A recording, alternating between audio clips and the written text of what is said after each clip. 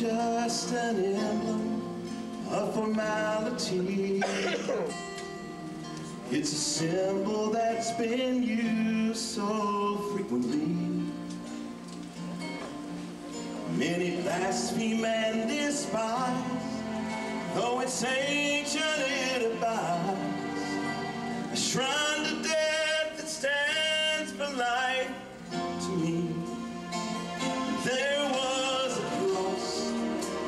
Son of God at Calvary.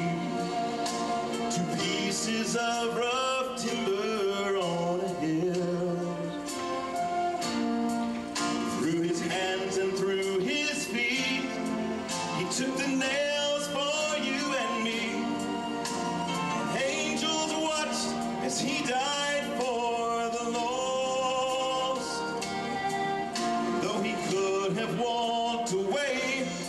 the cross.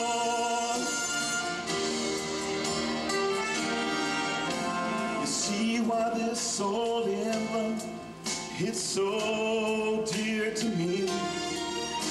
It stood for suffering, yet it brought me peace.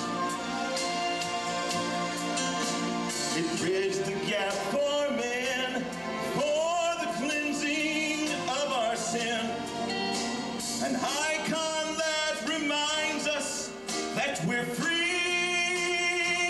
It was a cross before the Son of God at Calvary. Two pieces of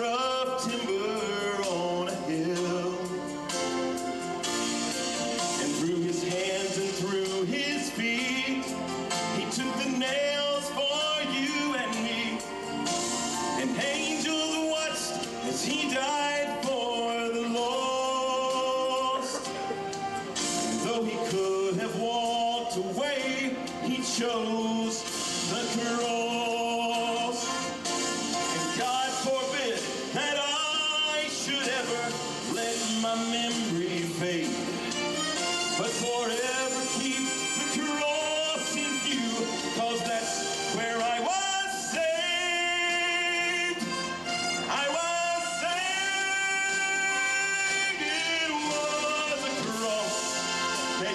Son of God at Calvary.